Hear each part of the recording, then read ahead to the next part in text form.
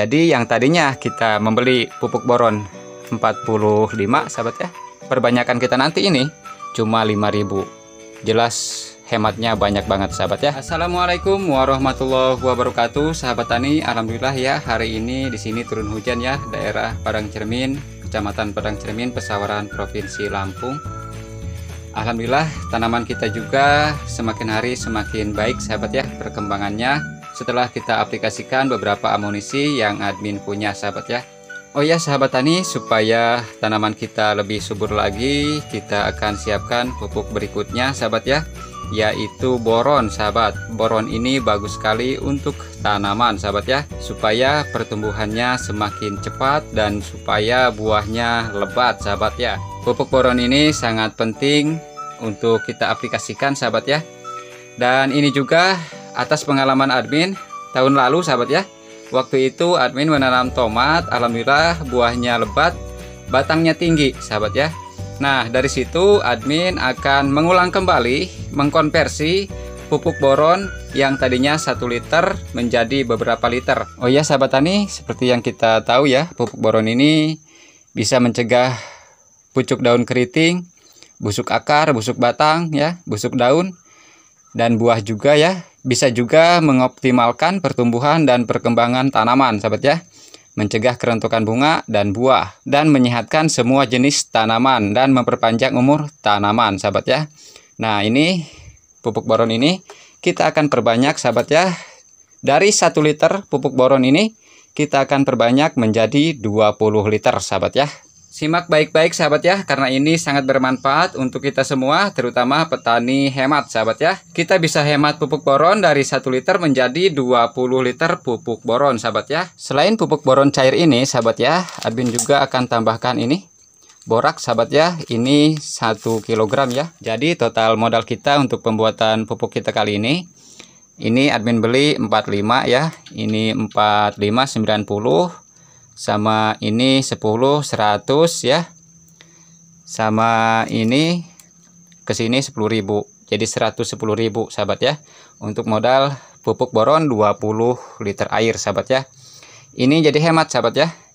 Jadi satu liternya nanti cuma kena 5000 ya. 5 kali 2 100 ya. Jadi yang tadinya kita membeli pupuk boron 45 sahabat ya. Jadi untuk perbanyakan kita nanti ini cuma 5000 jelas hematnya banyak banget sahabat ya. Nah sahabat tani untuk memperbanyak ini kita selain butuhkan boron dari toko ya 1 liter boron cair kemudian borak 1 kilo gebro 2 saset kita juga siapkan air kelapa ya. Ini air kelapa dan kentos kelapanya juga. Dan juga kita siapkan itu beras setengah kilo ya Kenapa admin pakai beras? Karena pengalaman tahun kemarin, admin juga menggunakan sisa beras rendaman-rendaman seperti itu. Itu juga bagus ya. Jadi admin berbagi ini sesuai pengalaman yang sudah dilakukan tahun kemarin sahabat ya. Kita juga siapkan susu ya. Ini susunya seperti ini. Kemudian kita siapkan juga gula merah satu telepek ya. Ini sekitar 200 gram mungkin kalau ditimbang sahabat ya. Nah sahabat tani selanjutnya kita juga siapkan starter sahabat ya Starternya ada tiga ya. Yang pertama POC buah, yang kedua POC dari segala macam bahan organik ya, sayuran, batang dan akar ya di sini buah-buahan juga 2 liter ya. Nah, sahabat tani jadi itu ya bahannya ya. Untuk bahannya ini. Terus starternya kita hanya menggunakan ini saja, POC dan jakaba juga airnya sahabat ya. Selanjutnya kita juga akan tambahkan dengan ini sahabat ya karena boron itu dari daun-daunan dari kacang-kacangan dari buah-buahan sahabat ya. Maka kita alhamdulillah ini dapat dari pasar tadi ya banyak kacang panjang dan juga ada buah timun di sini sahabat ya. Ini kita akan jadikan sebagai pupuk organik penghasil boron sahabat ya. Kalau teman-teman kurang yakin silahkan googling aja cari referensi ya bahwa kacang-kacangan ini juga penghasil boron sahabat ya Oke sahabat tani, kita langsung saja ke proses pembuatannya. Ya sahabat tani, sebelum ke proses pembuatannya, kita juga tentu siapkan penutupnya ya, penutup ember ini dan juga karet sahabat ya. Oke sahabat tani, kita langsung saja ke proses perbanyakan boron ya atau konversi pupuk boron dari 1 liter menjadi 20 liter sahabat ya. Kita masukkan ini pupuk boron cair 1 liter sahabat ya. Ke ember ini sahabat ya. Embernya kosong sahabat ya. Nah ini. Embernya kosong kita masukkan boron cair 1 liter sahabat ya. Nah warnanya seperti ini sahabat ya. Seperti minyak sayur ya. Kita masukkan boronnya 1 liter sahabat. Ya selanjutnya kita masukkan juga ini sahabat ya. Borak 1 kilo sahabat ya. Ya kita masukkan sahabat. Ini pelebat buah sahabat ya. Kalau teman-teman mau silahkan mencoba untuk pupuk borak ini sahabat ya supaya hemat. Kita konversi dulu sebelum digunakan sahabat ya. Nah selanjutnya kita masukkan ini kibro sahabat ya dua saset sebagai JPT sahabat ya.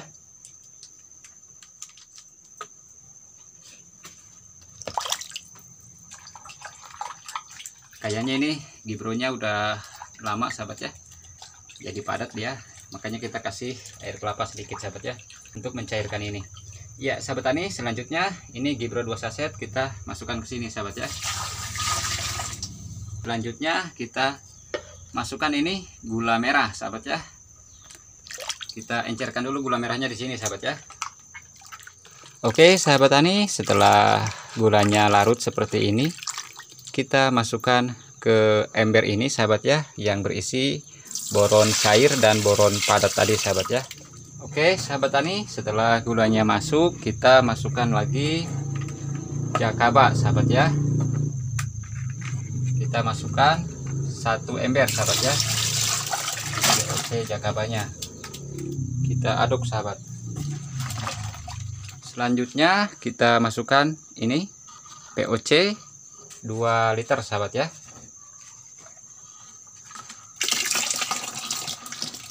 Selanjutnya kita masukkan ini POC buah mengkudu sahabat.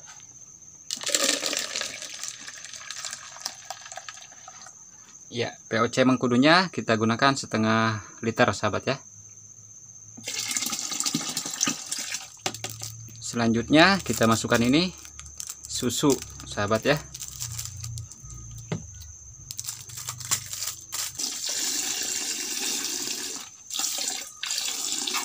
Ya susunya kita gunakan dua sahabat ya.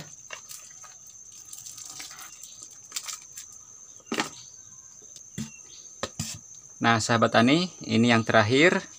Ini yang admin lakukan pada tahun lalu sahabat ya ketika memperbanyak boron menggunakan rendaman beras seperti ini sahabat ya. Kita masukkan beras setengah kilo sahabat ya.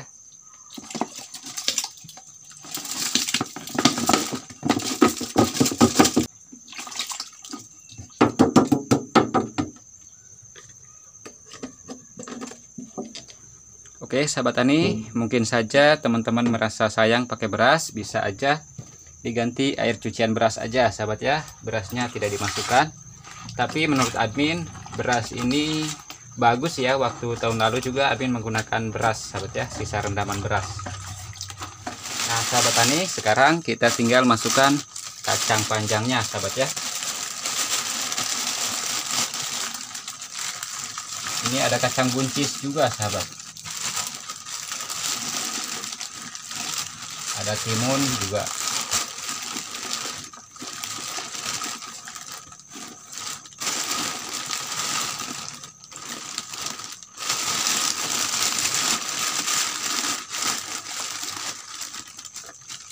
tomat juga ada sahabat ya. Oke sahabat tani untuk yang terakhir kita tinggal kasih air kelapa ya. Kalau misalkan ada kentos kelapanya juga boleh masuk sahabat ya. Sebagai tambahan JPT ya sahabat tani setelah seperti ini kita tinggal tutup menggunakan kain sahabat ya. Nah seperti ini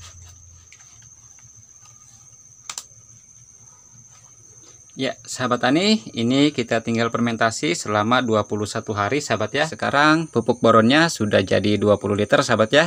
Kita tinggal menunggu 21 hari karena fermentasinya minimal 21 hari sahabat ya. Nah, untuk dosisnya kita gunakan biasanya 100 ml per 10 liter air atau per 15 liter air sahabat ya. Kalau untuk aplikasi spray sahabat ya.